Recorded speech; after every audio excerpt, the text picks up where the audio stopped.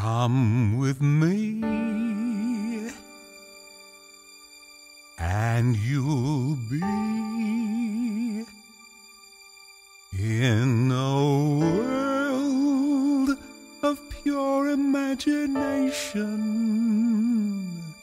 Reach out, touch what was once just in your imagination.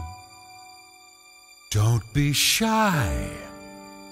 It's all right if you feel a little trepidation. Sometimes these things don't need explanation.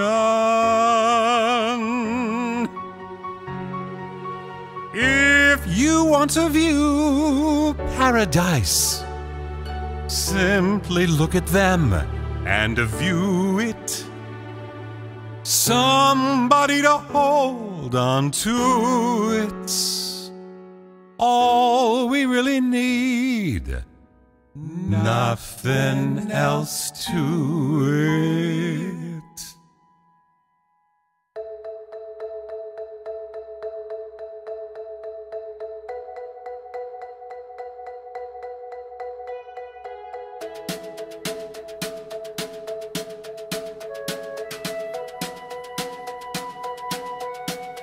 Come with me, and you'll be in a world of pure imagination.